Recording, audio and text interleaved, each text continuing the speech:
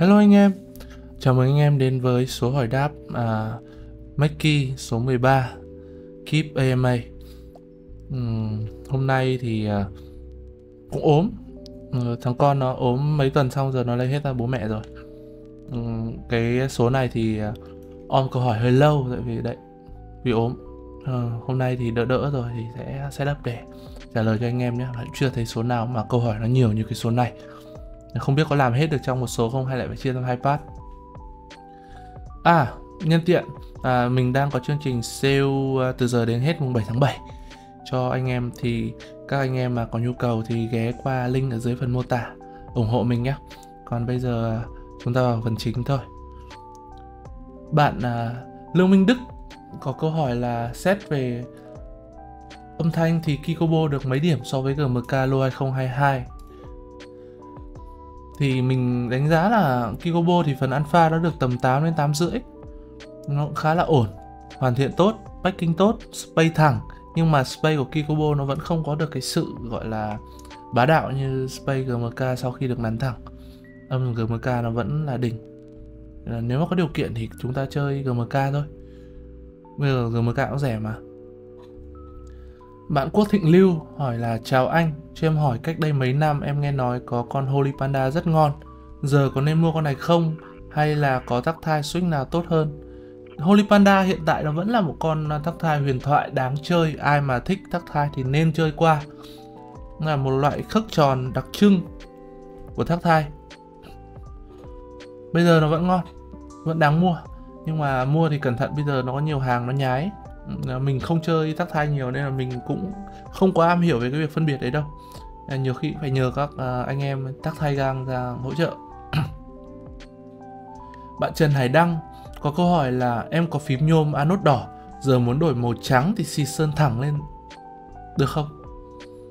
Thực ra là bạn xịt sơn thẳng lên được nó sẽ ra màu trắng nhưng nó không đẹp. À, muốn sơn đẹp nó không phải đơn giản nó là nhiều công đoạn lắm đầu tiên là chúng ta phải làm xử lý bề mặt cho nó mịn này rồi sơn lót nền các thứ đánh nhám cho nó bóng để sơn tiếp theo bám vào nó đẹp này. Xong lại mới sơn màu tiếp theo màu chính. Rồi còn phủ phủng nữa. Thực ra là làm thì nó mất công nó khó và nó cũng không đáng. Nếu mà sơn thẳng thì nó lại xấu. Phím thì bây giờ chỉ có là xả anode đi đi uh, Ecode, nhưng Ecode ở Việt Nam thì không phải không có chỗ làm đâu nhé. ở ờ, Việt Nam có những cái xưởng Ecode làm cho các tập đoàn nước ngoài, các cái tập đoàn công nghiệp lớn ấy làm đỉnh luôn nhưng mà họ không nhận những cái nhỏ lẻ như thế này. Nên là bây giờ thì ờ, tốt nhất là bạn đi tìm một cái kit nào vừa ý mà có màu trắng mua sẵn ý là đẹp nhất. Bạn Thanh Tùng hỏi là Envoy chơi foam hay no foam ngon hơn? Và với Envoy chơi Stab và Switch nào để endgame? Envoy thì nên chơi no foam con đấy no foam khá ổn. Tip của build Envoy thì là nên chơi no foam thì chơi hàn luôn. Endgame thì ờ, chơi ờ, mình thì mình chơi cherry black. Còn anh em mà thích uh, thực ra endgame mỗi người nó khác nhau mà. Endgame cherry black thì được nhiều anh em chọn bạn có thể thử. Staff thì một là cherry cảm giác bấm thoáng tay ổn định uh, old school và không thì nếu mà bạn gõ được hơi trì trì một chút nhưng mà nó âm nổ và nó không có bồ thì bạn chơi um, uh, Staby nhưng mà hình như Staby bây giờ đang hết hàng Staby ni lông đen. Anh em uh, lùng quá trời mà không có ai bán. Long Vũ Đoàn có hỏi là phím nhôm tầm giá rẻ có thể chữa vang được bằng cách phóc break không? Nếu vang vì top và bot nó va chạm vào nhau nó ảnh hưởng đến âm thì à, break được. Nhưng mà tổng quát thì bạn phải tìm ra là vang là do cái gì. Bạn sửa thì bạn phải fix từ cái lỗi của nó. Chứ không mò cái đấy phán mò thì nó hơi khó. Mark Albert có hỏi là anh thử đám Switch Vertex V1 chưa và cho xin review. Nó là một con Switch giá vừa vừa hành trình dài là một con đặc biệt ở những con gần đây Switch mới ra thì thường rất ít con hành trình dài. Con đấy là con hành trình đủ 4mm thì phải, khá mượt. Nói chung là tầm giá đấy chơi được. Ok, nên thử. Nguyễn Đình Khoa hỏi là bàn phím mình xài pin mà bật lên nghe tiếng xì xì giống như cái gì đó cháy. Mà mở chỗ pin thì không thấy nóng. Tầm 2 tuần thì hết pin thì có bình thường không? Thứ nhất là xì xì là không bình thường. Nếu đúng là một cái gì đó cháy thì không không nhất thiết phải là ở chỗ pin đâu. Ở trên bảng mạch có một cái linh kiện nào đấy nó ảnh hưởng. Bạn ngửi xem có mùi khét không? Là thứ nhất. Còn pin 2 tuần hay bao nhiêu thì nó tùy thuộc vào cái dung lượng của pin của bạn và bạn dùng chế độ gì. Có bật led không? Dùng bao lâu? Cường độ dùng như thế nào? Đấy nói chung là nên kiểm tra chứ xì xì thì là, nó không bình thường rồi. Nó có thể là sống được một thời gian nhưng mà nó chết lúc nào không biết. Bạn Tuấn Nguyễn theo bác dòng Leopold 750 Bluetooth có xứng đáng với giá tiền em mới dùng Philco chưa dùng tới Leopold. Theo hắc giữa hai con này thì con nào tốt hơn từ keycap chất lượng mạch và cây chất âm? Hai con này đều là những con ờ, uh, review nhựa có chất lượng uh, hoàn thiện khá tốt. Tuy nhiên nếu chỉ chọn trong hai con này thì mình sẽ chọn Leopold. Tại vì Fuco thì Stab Costa là trừ điểm âm vô cực rồi. Dùng Stab uh, ờ, Leopold dùng Stab Cherry thì vẫn hơn. Nhưng Stab Costa dùng uh, phím custom nó chán lắm. Còn với cái dòng tầm tiền đấy, như một con Fico Leopold mới tầm 3 triệu mấy 4 triệu, bạn hoàn toàn có thể chơi phím nhôm rồi nếu mà bạn không có vấn đề gì với cả việc custom thì bạn chơi phím nhôm đi, nhiều con bây giờ nhiều lựa chọn mà Mahambert có một câu hỏi nữa là số trên OB với VB có giá trị gì không? Thấy nhiều người bảo là số nhỏ ngon hơn. Thứ nhất là mình đi từ cái mục đích của cái số đấy là trên mỗi cái khuôn đúc nhựa để làm nó con switch đấy, nó sẽ đánh số từng vị trí một để khi một lô sản phẩm sản xuất ra, người ta check cái cốt đấy, người ta biết được luôn là lô sản xuất, phẩm đấy là sản xuất ra từ cái khuôn nào, ở đâu, nhà máy nào, vị trí và thời gian nào. Đấy, có những cái khuôn nó chỉ tồn tại trong một vài năm dùng xong người ta sẽ phải thay, đấy. Người ta sẽ check được tất cả những cái đấy ra. Còn có ngon hay không thì còn tùy. Không đại diện số nhỏ là sẽ ngon hơn đâu số thì nó khuôn, nó có cả khuôn số code ở trên stem, cả ở trên top, cả ở dưới bot. Và cái số nhỏ đấy là còn có nhiều loại phông, lặp đi lặp lại các kiểu nữa cơ. Rồi cái quan trọng nhất khi bạn chơi các con switch cũ này là gì? Là tình trạng cái con switch đấy khi đến tay bạn nó mới như thế nào? Nó hư hại gì không? Nó được bảo quản ra sao? Đấy, cái đấy mới là cái quan trọng. Bạn Lê Trung Hiếu hỏi là khác biệt giữa Stab Blade Mount và Stab BCB Mount là gì? Đầu tiên trong câu hỏi nó có một ý chính của câu trả lời đấy. Blade mount lắp trên blade, pcb mount lắp trên pcb và lắp trên pcb nó có cái tiêu chuẩn của hai cái lỗ đục để lắp stab lên stab nào cũng thiết kế để vừa hai cái lỗ đấy là ok. Chỉ có khác nhau mỗi cái là mạch 1.6 1.2 thôi thì cái đấy có thể đệm stream vào. Nhưng stab trên plate mount nó bị một cái vấn đề là thứ nhất nó lắp trên plate plate phải đục lỗ để vừa cái stab đúng không? Nhưng mà cái housing mỗi cái loại stab plate mount nó lại có một chút to nhỏ khác nhau nên là thường nó sẽ kém ổn định hơn. Thứ hai là lắp trên plate nó không áp hết cái full, cái cái cái khoang âm của start nó không áp thẳng xuống cái PCB không kín, mà nó lại hở hở ra, có thể hở hở ra. Thì âm của start plate mount nó sẽ không hay bằng. Hoạt động thì đấy, như mình nói lúc nãy, đục lỗ mà không vừa rộng quá thì phải chèn vào để cho nó đỡ bị rung lắc. Còn chật quá thì nó bóp start vào nhiều khi bị kẹt, bị trì, bị đủ vấn đề.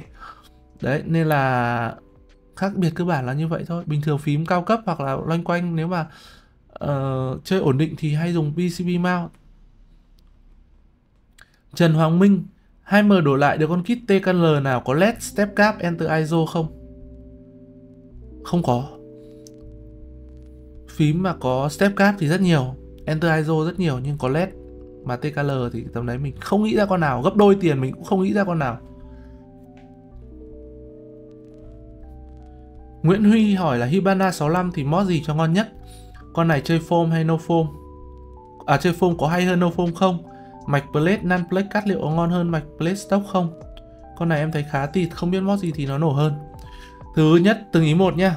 À, Hibana 65 thì build bình thường thôi, không không nhất thiết phải mod bài gì quá đặc biệt. Con này chơi no foam nhé, con này chơi foam thì mất bản chất con kit tại vì mục đích sản xuất và ý đồ ban đầu sản uh, thiết kế cũng không phải là để chơi foam mạch plate no plate cắt. Thay mà con này nên thay mạch, thay plate mạch plate stock, hơi tệ. Nhất là hot swap. Hot swap thì âm nó không hay. Con này mà build mạch hàn, cắt lại plate thì âm không tịt đâu nhá. Âm khoang âm của nó khá tốt, khá to. Góc nó hơi bị vang một chút thôi.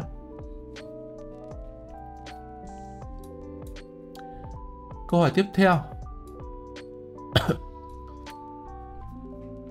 Bạn Vích Nguyễn có hỏi là con HMX Macchiato giờ còn đáng chơi không? Nghe anh em nói bị trì, có lựa chọn nào ngon hơn không? Cái họ HMX thì các cái switch nó cùng một thời gian sản xuất mà gần gần nhau nó giống nhau à? Và con này sản xuất lâu rồi mà nó cũng bị trì thật.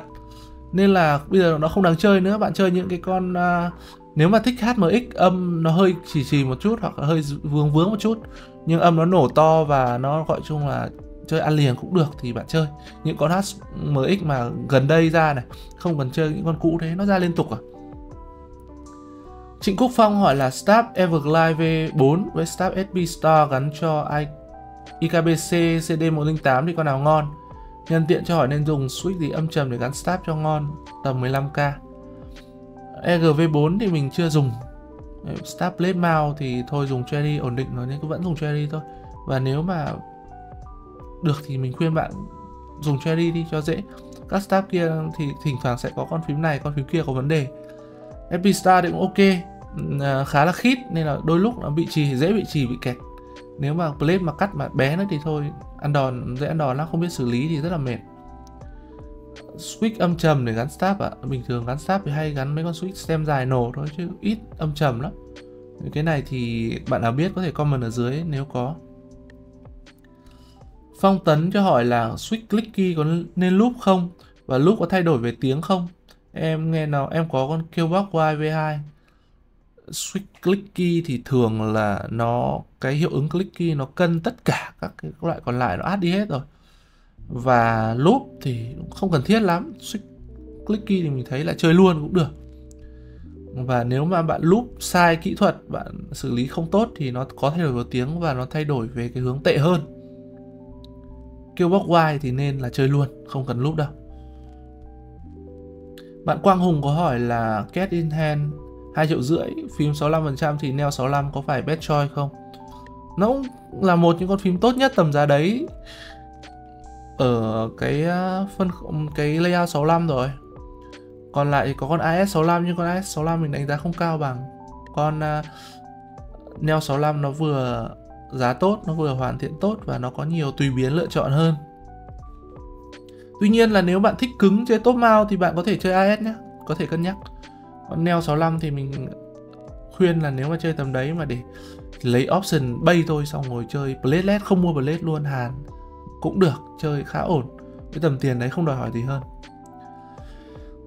Trần Minh Thành hỏi là có thể lót nhiều loại phone switch trên bản mạch được không? Lót như vậy âm thanh có thay đổi nhiều không? Ví dụ lót PE rồi dán thêm miếng dán AXPE nữa. Làm thì làm được nhưng có thể rất khả năng rất cao nó sẽ cấn, nó dày quá. Và tiếng thì nó cũng không ra gì đâu tại vì chơi một loại phôm thôi. Chứ chơi nhiều loại phôm thì tiếng nó nói chung là thôi bỏ, chơi một loại thôi nhá. Cũng chưa thấy ai tả đạo mà chơi hai loại phôm như thế cả. Bạn Chí Lê hỏi là vừa mới có kèo group by ND75 1.6mm non flex cut thì theo anh thường mạch như vậy móc kiểu nào ngon nhất? Mạch non flex cut thì build bình thường thôi, còn xem con phím nó thiếu cái gì thì móc cái đấy. Ờ, uh, 1.6 non flex cut thì ờ, sẽ đỡ hơn là việc chơi 1.2 hoặc 1.0 gu của người Việt Nam mình là vậy còn gu mà mỏng mỏng là gu bên tàu Nguyễn Quang Minh hỏi là anh ơi hát plate và plate thông thường sẽ cho ra âm khác nhau nhiều không? Khác hoàn toàn luôn. Hát plate là cái phần alpha không có plate luôn. Tức là nó là platelet, âm platelet với âm có plate tất nhiên khác nhau. Bất kể là bạn dùng plate gì, âm platelet nó vẫn sẽ khác âm có plate. Nguyễn Lưu Trí hỏi là sao dạo này hai em toàn 60 với TKL thế nhỉ? 75 không thấy con nào trên 10M mới ra thì do cung cầu thôi. Những người người ta chơi ở phân khúc đấy người ta một là chơi gọn hai là chơi TKL tiêu chuẩn. Những người mà chơi 75 với chơi full size chơi 1800 nó ít quá. Thậm chí là chơi 60 à, chơi 6 60 65 không nhiều đâu. Ra mới 60 65 trên 10m có làm gì có một vài con thôi à? Thì à, phân khúc đấy là phân khúc kén người chơi rồi. Và lại chơi cái layout mà bây giờ nó không hot kén người chơi nữa thì người ta ra người ta không bán được nhưng còn nếu ví dụ năm sau đây uh, à, cái trend 75 quay lại thì lại sẽ có đó. Vừa sau thì không phải không có có jelly invo đấy nhưng mà nó thử sao mình đánh giá cái nó nó chỉ nếu mà thẩm mỹ thì thích thì mua tầm giá đấy chứ còn nếu mà sử dụng gõ thì mình không thích tầm giá đấy lại chơi phôm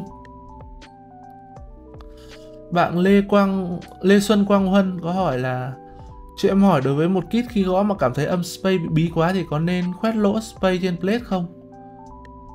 Có một bạn khác cũng hỏi đúng câu đấy. Bạn ờ bạn Lê Xuân Quan hơn bạn hỏi câu đấy ở hai post thì phải. Thì bây giờ có thể nó đỡ, có thể nó không. Tại vì bây giờ đi phải đi từ nguyên nhân. Tại sao âm nó bị thế? Do keycap à? Hay do thiết kế lòng cây? Hay do cái mạch nó có vấn đề gì? Hay do con switch? Hay do cái ờ, uh, start mod bị làm sao? Thì bây giờ phải cầm trên tay thì mới biết và phải làm từ đầu đến cuối thì mình mới kiểm soát được. Nhưng mà chơi phím custom mà tất cả mọi thứ mình đều nên thử nếu mình thấy nó hợp lý. Mình phải có một cái cái cái cái gọi là cũng phải có suy nghĩ tư duy một chút xem nó có hợp lý hay không. Hợp lý thì có thể ổn thì nên thử mọi người kể cả những maker làm phim các thứ họ làm thiết kế có ý đồ nhưng mà họ xong phải thử chỉnh sửa cả mà bạn à, Mạch Khang Huy có hỏi là anh có thể chia sẻ cách bài mod sao cho ra những âm Toki, Creamy, Clacky được không? Âm của con phím thực ra nó không không có cái trò phù thủy âm thanh đấy đâu con phím nó sản xuất ra mà mà để một con phím làm âm tốt thì phải đi từ khâu thiết kế, từ maker, rồi thiết kế xong làm thử còn chỉnh sửa còn chán.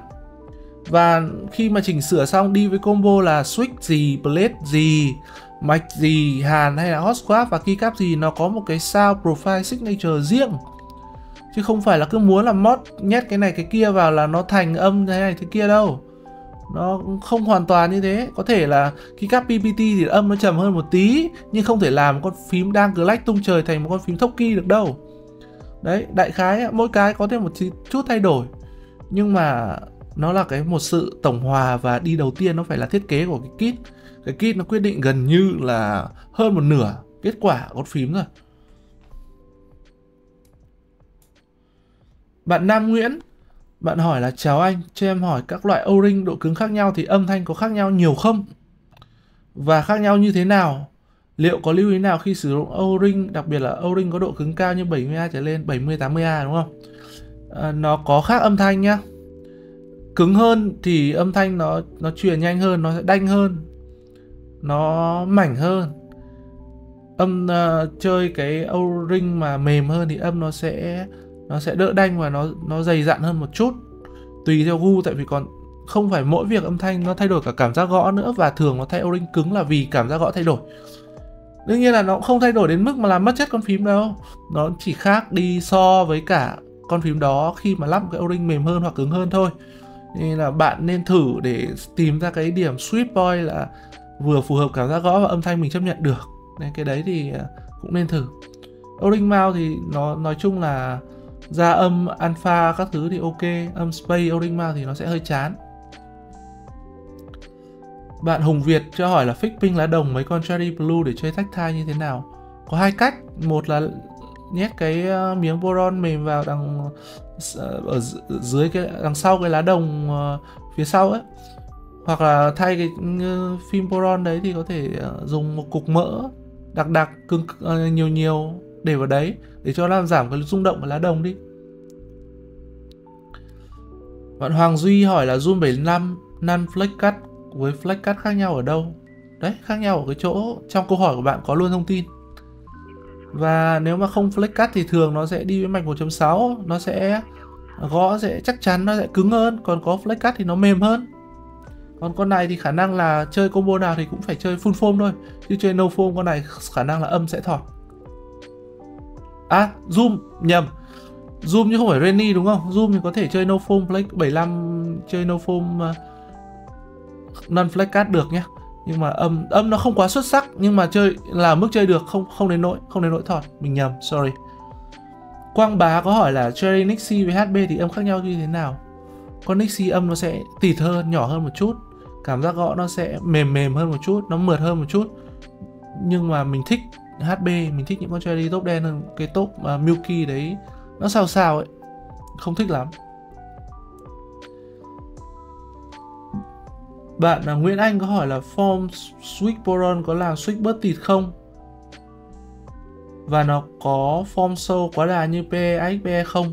Nó có làm switch bớt tịt và nó có form sâu form uh, form sao nhá form sao của nó mà bạn build kiểu full form thì nó cũng cũng form bot thôi chứ nó cũng không phải là cái gì nó nó gọi là ờ, khác biệt nhiều so với cả ờ, uh, PE đâu. Mỗi cái thì âm nó cũng có khác nhau nhưng mà đại khái nó vẫn là âm form bot. Đỗ Hiếu hỏi là làm sao để fix rỗng stab trên kit nhựa? Thứ nhất là bạn đấy tất cả những vấn đề phải tìm ra vấn đề của nó là ở đâu. Kit nhựa nó không phải là vấn đề stab rỗng nó không phải là vấn đề cái kit của bạn rỗng ấy, nó mới là vấn đề. Hoặc là do keycap đấy, thì bây giờ thường là kit nhựa thì anh em mod loanh quanh thì cũng chỉ có lót foam thôi mà. Thì bạn thử lót foam xem có đỡ không.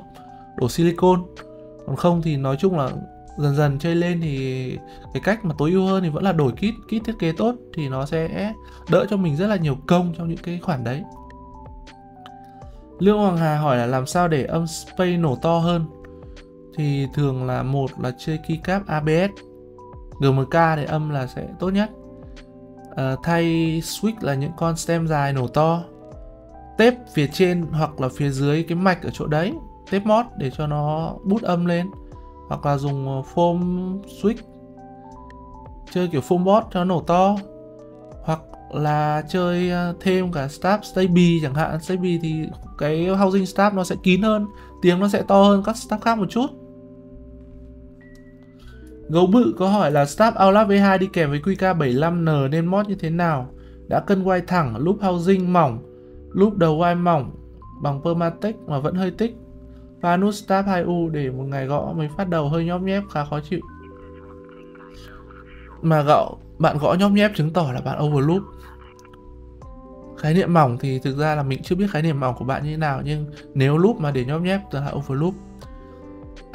Câu chuyện thứ hai là staff của bạn tích. Bạn phân biệt rõ là nó tích hay là vì nó bị cạ đâu đầu hành trình. Đấy. Cái thứ ba nữa là bạn xem là có nguyên nhân gì từ switch và kit hoặc keycap của bạn không kit có bị thiết kế lởm khởm làm bộ lòng nó cong không chẳng hạn hay plate nó có bóp cái housing của staff lại không à QK75 thì chắc khả năng không uh, Stab Outlap thì nó dùng Y là memory metal. Nó không nắn được. Nên cân Y rất thẳng mình cũng chưa hiểu là bạn cân thẳng thật không. Và khái niệm thẳng của bạn tiêu chuẩn như thế nào. Nhưng mà có một cái vấn đề là Stab Outlap về uh, ờ, uh, ờ, thì mình đánh giá nó là một con Stab gọi là dùng ok dùng vừa vừa thôi chứ không phải Stab ngon. Nên là nếu mà bạn thấy nó khó quá uh, bây giờ mang đi thợ mod thì nó cũng đắt thì bạn có thể đổi sang staff khác chẳng hạn, thử xem. Jerry Staby gì đấy. Đình Nguyên hỏi là anh cho em xin kinh nghiệm khi mua phím hay second hand. Thì thứ nhất là theo gu của bạn bạn ưu tiên rẻ hay bạn ưu tiên đẹp hay bạn ưu tiên giá trị sử dụng thế nào đấy? Cân đối. Tìm thì tìm mua trong chợ Rio ấy, chợ của VN Mackey đừng tìm mua trong chợ Ba Lăng Nhăng chợ Vớ Vẩn. Thứ hai là xem ai có uy tín thì mua ờ, kinh nghiệm kinh nghiệm thì nhiều lắm. Ờ, mua thêm con phím nào con phím nào có đặc điểm gì nhưng mà đại khái là như vậy thôi. Khảo giá trước đi xem là giá con phím này ở phân khúc nào thì mình tầm tầm nào mua đỡ bị hớ. Bạn Lê Xuân Quang Huân có hỏi à đây lúc nãy hỏi rồi hỏi cái câu mà đục lỗ của plate ấy. Bạn nhân nhân ngô vi ngô vĩ nhân à? Anh có thể phổ cập với các loại tạ không và lựa chọn tạ thích hợp với phím? Tạ là một cái miếng gắn vào trên cái kit, cái cây để cho nó nặng hơn, nó ổn định hơn về mặt cấu trúc, để cho nó đỡ bị vang, đúng không? Âm nó chắc chắn, âm nó gọn gàng. Thì bây giờ nó là những cái thứ bằng kim loại thôi, đúng không? Kit thì thường là chơi custom là làm bằng nhôm hoặc là pc rồi thì tạ thường họ sẽ không làm bằng hai cái chất liệu đấy. Tại vì nếu mà làm bằng đúng chất liệu đấy nó sẽ không nặng hơn. Thậm chí bị khoét đi cái kit nó bị khoét đi xong rồi còn ghép vào nó lại còn tệ hơn nữa. Thì thường họ sẽ làm bằng một là đồng. Đồng thì có hai loại thực ra nó là hợp kim đồng chứ nó không phải là đồng uh, nguyên chất không phải là không phải là cu đâu. Nó một là brass là đồng thau và và gì nhỉ? Copper là đồng đỏ mình cũng không quên mất cái cái, cái, cái công thức của nó nó nó pha những cái loại kim loại gì rồi. Nói chung là có pha thì nó sẽ là nặng nhất. Hoặc là về mặt thẩm mỹ thì có cái tạ thép. Thép thì nó cũng nặng hơn nhôm. Và thép mà khi đánh bóng lên thì trông cái hiệu ứng rất là đẹp nhất là nếu mà mạ thêm PVD nữa hoặc là mạ uh, các cái hình thức xử lý để cho mà nó ra màu uh, chroma rainbow các thứ ấy. thì có thường là hai loại đấy thôi và lựa chọn tạ thích hợp thì thứ nhất là đồng với thép thì đồng thì sẽ nặng hơn. Bạn ưu tiên khối lượng thì bạn chơi đồng. Đồng thì có thể patina được nữa. Patina làm oxy hóa để nó ra những cái màu cũng xanh đỏ tím vàng ấy. Còn nếu mà ưu tiên ờ, thẩm mỹ thì mình thích thép hơn. Nhìn nó đẹp, nó bóng, nó ờ, làm mà mạ PVD chroma lên thì trông rất là rất là xịn hoặc PVD thường ờ, lên màu kiểu vàng hay là baby blue rất là đẹp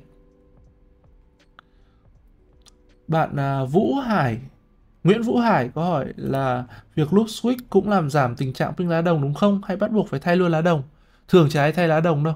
Đấy thì như lúc nãy mình trả lời thì loop switch thì à, có thể chơi một cục mỡ to đằng sau cái lá đồng thì nó sẽ giảm pin còn không thì có thể là lót foam bạn à, uh, 35 Nguyễn Vũ Việt Trung 87 có hỏi là anh cho em hỏi làm thế nào để switch hết bị trì? Để switch mà bị trì do thiết kế thì bạn đổi con switch khác thôi. Chứ còn nếu mà không làm gì mà nó vẫn trì thì khó. Còn nếu mà do overloop hay do mỡ đặc thì bạn rửa đi bạn loop lại. Rửa sạch nhé.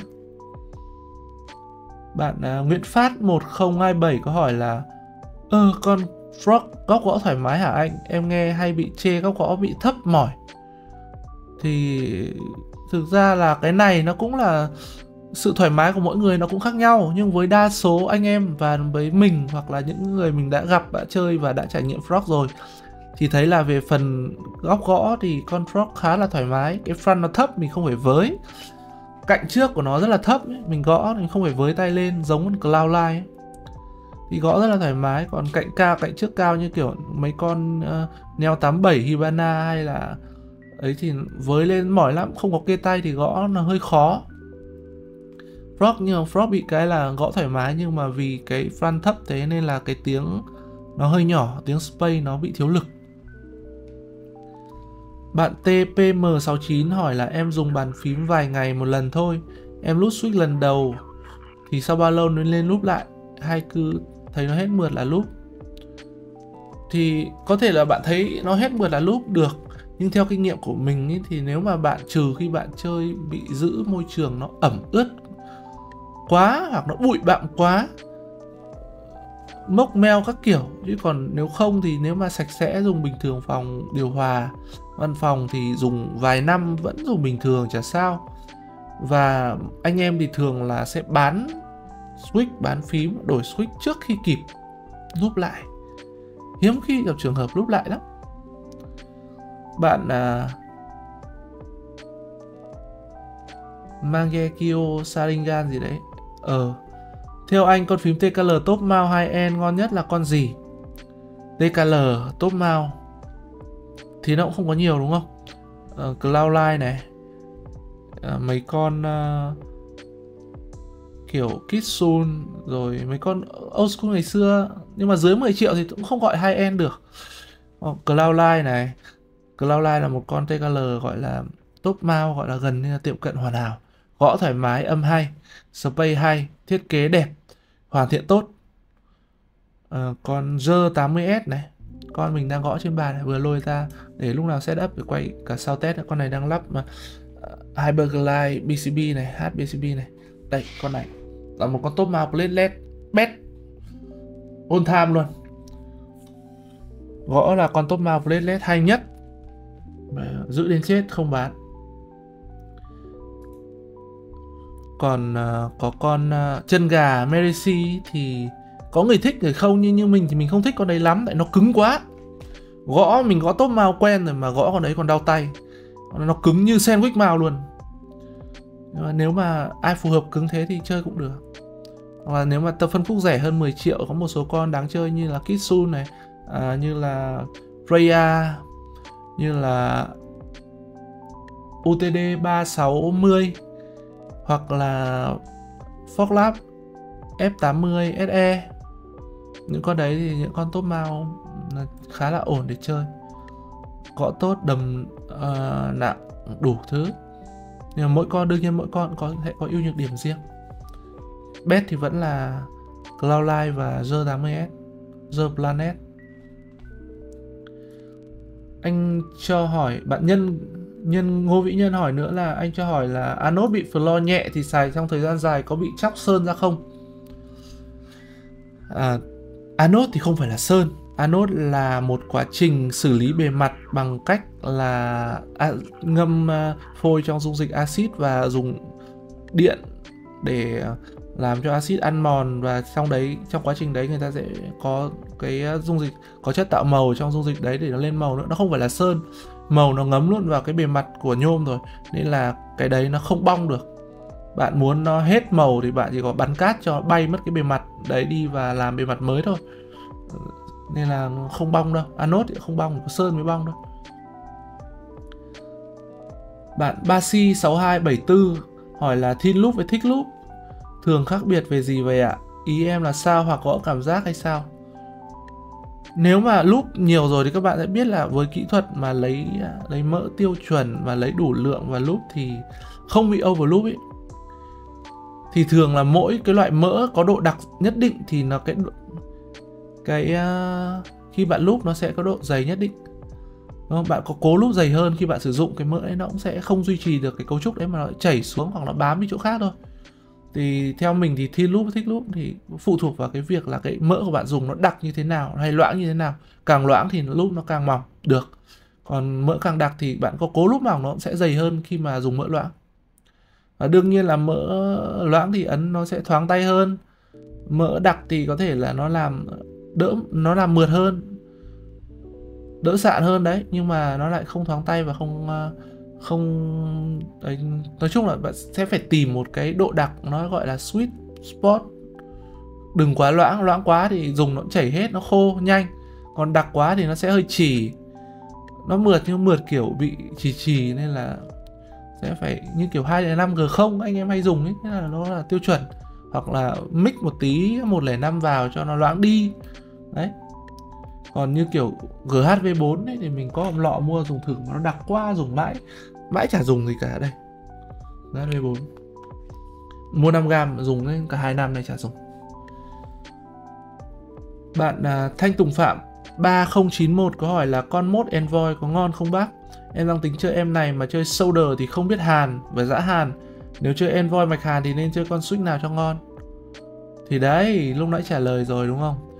Cherry Black con này ngon nhá mình có một con đang gõ daily ở công ty. Không chơi game thì không cần hàng ép thì con này gõ khá ngon tầm giá đấy hoàn thiện cũng ổn. Bạn à, võ sinh hùng có hỏi là pro vẫn là hỏi nhanh chủ đề start à? Khi lần hồi trước mình có nói về việc quay quay lên hoặc quay xuống thì cảm giác gõ sẽ khác nhau âm cũng hơi khác nhau. Nhưng mà nó là PCB mount đúng không? Vậy start lên mà có bị tình trạng tương tự không?